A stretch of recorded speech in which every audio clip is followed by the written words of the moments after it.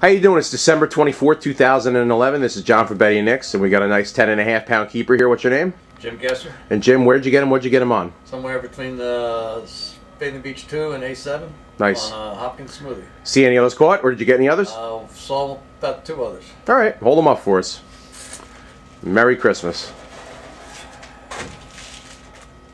Thank you very much. Yep.